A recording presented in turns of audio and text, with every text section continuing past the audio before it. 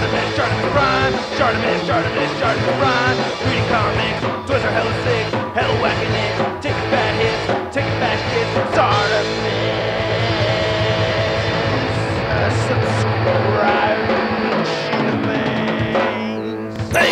What's up, you guys? Shartimus Prime here, doing another 112 scale action figure review on the AxyToys Dinosaur Battlefield Tyrannosaurus Rex Deluxe Edition Red version. Gotta give a big thanks to AxyToys and Big Bad Toy Store for making this review possible and sending out this sample my way to review for you guys. If you want to see the latest from AxyToys, be sure to check them out. Link is in the description below. And yes, this is the red version. You can see the purple belly underneath, which I like. It's Megatron purple on a T-Rex. I like that. And then you have some nice artwork right there at the bottom. Big old window right up in front. And then on the side, you can see a little bit of Triceratops. And then on this side, you can see a little bit of a read up right there. If you want to read it, go ahead and pause it right now. And then you have the QR code. Then you have some nice looking product shots right over there. Then on this side, you can see that Triceratops again. It says Dinosaur Battlefield on the top, and then Dinosaur Battlefield on the bottom. And then now I'm kind of curious if I'm missing some read up stuff without taking off the sleeve. Oh, I am. It says do not wipe the product with thinalbilizanilla. Okay, well, I'm not going to use chemicals on it. All right, anyway, let's get to it and crack this thing open. But first, if you're trying to get your AxyToys figures, you can do so Big, big, big. Get your big badass toys at bigbadtoystore.com. Click the link in the description below. And here's the Bloodblade figure out of the packaging. And holy man, this guy looks awesome. Uh, there's so much stuff going on here. And in some ways, I think maybe a little bit too much stuff, depending on which accessories you're looking at. Uh, but I mostly think this thing is very, very cool. And there are a lot of very, very cool accessories that come with them. So let's get a closer look at those. And then we'll take a closer look at the figure. So this figure comes with a ton of accessories and this little postcard, or fairly large postcard. Anyway, I did misplace one of the accessories, this thing with the three teeth hanging down there. Uh, I haven't been on my A game lately, been distracted by a lot of stuff. But yeah, you can see there's a lengthy read up over here. If you want to read it, go ahead and pause it right now. And you can see we get two weapons and two sets of hands and a bag full of tiny little spikes that you need to apply on the figure. I'm not going to go through every single one of those, but you can see that you have these two gold colored ones that you could put on the crown or the bottom half of the crown anyway. Uh, but first, looking at the weapons, you have this club right over here, which looks dope. The paint applications on everything throughout on this figure, uh, the weapons and all of it just look amazing. I love the detail right here. So you have that cast iron finish. Looks remarkably awesome. Uh, I really do like it a lot. And then you have this axe right over here that comes in two pieces. I guess you could hold it like as a blade right over here if you wanted to. And you could take this out. And then that pin, you know, you could use to connect to this other side right here. Of course, you could have them just hold this thing if you want, but I love the blood staining on that. Look at that. Again, that cast iron finishing is just amazing. Nice soft material over here, so not too pointy. I do appreciate that. And then you also have the hands. I mean, the paint details throughout on this figure are just amazing. I really love how it came out. And you do want to heat up these weapon holding hands before you get them holding anything. It's just easier to do that way, but I love the details right here with the fingernails. Those claws look awesome. Uh, on the right side, you have a finger pointing hand right over there. Love the fading and everything looks really good. And then you have the helmet or the crown and uh, one of the things that you get in the ziploc bag is an extra elastic piece right here for the bottom of the crown and you just want to yank this down right here and drape it over the head. I added these two spikes right over here. I do think this looks better as it is just like this. Love the bone paint detail and everything right there looks really good. And then if you want to remove this little 3M piece right here so that it holds better, you can do that. I decided not to do that yet. Uh, but you also get the top half of the crown right over here. So you take those off and you have this really cool looking Triceratops skull. You do have to put the horns on yourself. I think I put them on there properly. And this does look very cool. Like, I think everything looks very cool on this thing. I will say though, for me, I just feel like it's a little bit too much extra stuff going on. You just use this peg to port it onto the front hole right over there. And I just think this is too much of a headdress right here. I mean, it looks, it's a T Rex head with the Triceratops head on top of it. I'll show that off in just a little bit when we apply all these goodies to the figure itself. You get this necklace right over here, looking really awesome. Like the details on that. Can't really complain. Goes over the head very easily. And then you have these dangly pieces, which I'll apply to the figure later on. Again, I mentioned I was misplaced one. See the nice bone detail on this right over here. That looks like a raven's head or something. Very neat. And you get these real metal chains. And then you get these shoulder pads over here, and you do have to uh, go ahead and apply those spikes. That image I showed you earlier is what I used as my guide. So if you just look at that. Oh, by the way, when you swap the hands off, these things, yeah, these sleeves right over here do pop off very easily. Again, I had to put the spikes on those. But yeah, uh, going back to the shoulder pads, I love how you can see the teeth and the eyes for the T-Rex and everything. You also have these holes on the back of it right over here that you could use to plug into the back of the figure and use these pins to port them into the holes that are on the back. You also get the shoulder pad right here for the left side and then you have this huge magnificent royal cape.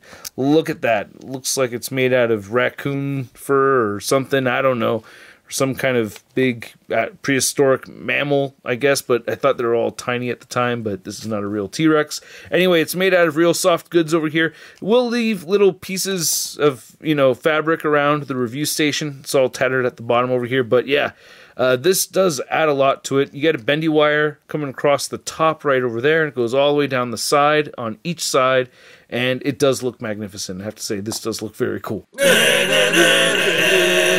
So after we look at the details of this figure without all the accessories applied to it, I gotta say, it does look cool just like this. I like having the display options over here.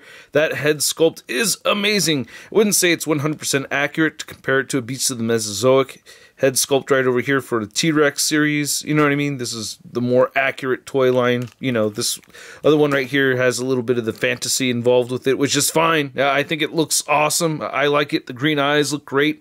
Again, I love the Megatron purple over here. The red looks great. I love the stripes. The paint details are phenomenal. The teeth have some nice yellow and brown tan colors added to them. Nice details right here on the inside of the mouth. Roof of the mouth even has some paint detail in there. So yeah, this thing is painted through and through, and it just looks awesome. Uh, I really dig it. Just yeah, I love how this came out.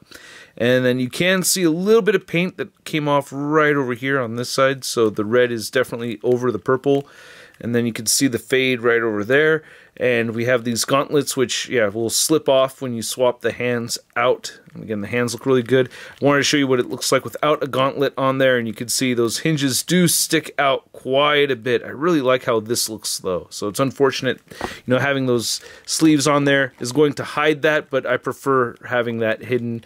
Uh, it just looks better like this. And yeah the cast iron on these look phenomenal. Again I love how that came out and you have some nice detailed line work printed on there as well. This is a very suede material.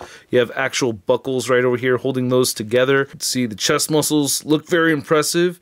And then you have this whole belt piece over here with all these little dangly pieces, nice paint details right over there. Oh man, this looks sick. And again, you have to add these little spikes on your own. Just follow that image that comes with the figure and you'll be set. Or you could follow this video right here. Either way. And then you have these little dangly bone pieces right over there looking really good. Again, the stripes and then the gradient of red to purple looks great on this figure. Again, I love the shin pads right over here and you have to apply those little spikes. Just don't lose them, you know. But yeah, that gold looks really good. Love the cast iron finishing. The feet look awesome. Nice toe details right over here. Really nice articulation over there on the feet as well. And the tail looks really good too. I really like this.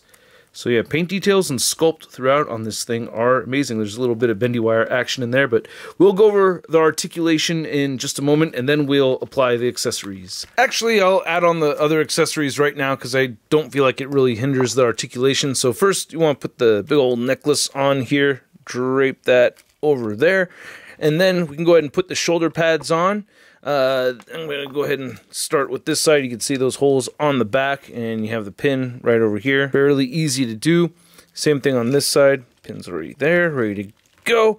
Then we can take the cape and go ahead and drape that over and that can hook on to each side right over here so you got these little golden hoops and these little hooks on each side of the cape and keep that on there and keep that on there like that That's looking pretty sweet. And then as far as getting the crown on there, you do want to yank down on this elastic band quite a bit. So go ahead and yank down on that and get that around the whole head behind the jaw and boom it'll snap on right on top and then we have the extra triceratops crown piece that sits right up there. And boom there you go. So yeah it's to me i think it's a little too extra with the triceratops head on there. But anyway we get the jaw articulation uh, you can move the neck and head joints side to side very well. You can turn the head right over here. It will look up quite a bit and down quite a bit, so that's very cool. Good articulation right there. You have the butterfly joints right over there. You get the shoulders moving out at 90 degrees. You can move them inward. You could rotate a full 360, get that out of the way, and go ahead and pull that off. That looks feels pretty good. Bicep swivel, then you have the single jointed elbow and rotation at the elbow. Then all the hands turn side to side, and you can hinge them up and down or horizontally depending on how you have that ball joint configured. You have the diaphragm joint up here that turns side to side. Diaphragm pivot crunches forward a bit and back a bit. Then you have the waist cut. Oop, losing stuff. Waist cut right there. Waist pivoting a little bit and it rocks back and forth some as you can see right over there. A lot of stuff here. Hips move outward that far and we lost a shoulder piece. Uh, he will kick forward that much, and the directions do say to heat the figure up. So you do want to be careful with it, especially if it's a cold environment. So you do want to heat it up before really moving it around. You get an upper thigh cut right there, pinless double jointed knees, and then they do bend in all the way.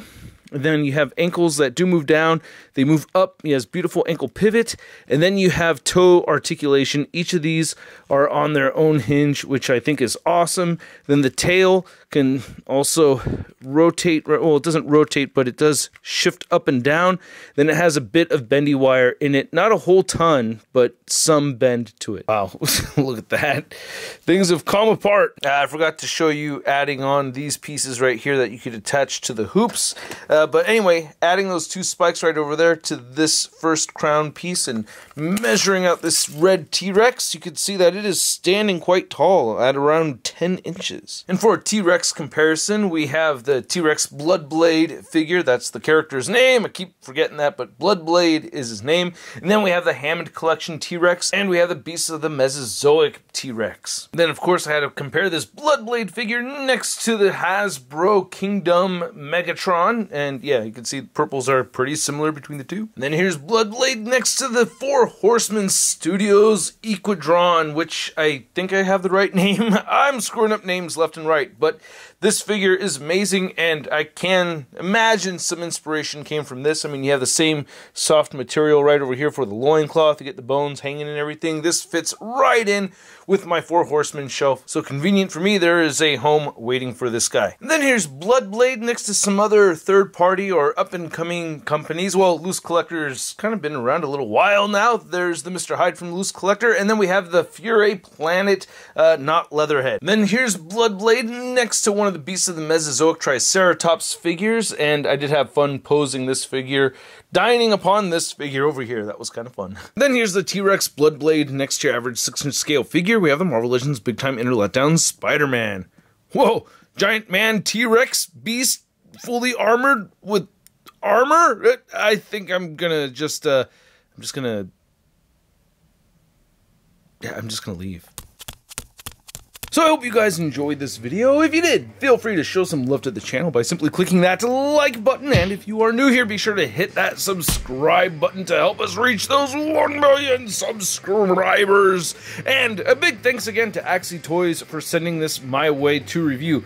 This is quite an impressive piece. There's a lot of really cool stuff going on here. I don't. I guess the guy's name is Alvin, but the person who designed this thing, they just went nuts with it. Like someone in the design was just like, "Go crazy," and we're gonna make a figure out of it. And that's what they've done here. They've just went nuts with it, and I think it's a lot of fun. I think it's very, very cool. There are some downsides I'm seeing to it. Nothing major. I didn't have any QC issues or anything break on me. I didn't have any serious frustrations that uh, took the fun out of it. The only thing is the sleeves for the arms, but you can still tighten those if you want to. So there's the option to do that. Oh yeah, and it's worth mentioning that we do get a bit of that material from the cape falling off onto the review station. That can be frustrating. There's things that were falling apart while I was doing the articulation segment. So when you articulate the figure, you do want to be careful. They warn you of that. So heat up the figure. Be careful when you move it around. That's the only real uh, downside I'm seeing over here. Other than that, it's a really fun figure. I like posing it. I love taking photos of it. I think it looks incredible. It's not cheap by any means. Uh, you're looking closer to around the $80 mark, if I remember correctly. And at that price point, I'm going to give this T-Rex Bloodblade figure a Sun rating of I love it! and I'd like to know what you guys think. And if you've seen the other color variations, I want to know which one you prefer also. So leave a comment down below. If you want to see the latest in action figure news, you can find it all over at toynewseye.com. And if you want to stay in touch with me on social media, you can find me on Instagram, Twitter, Twitch, TikTok, and on whatnot. And I will catch you guys later. Peace.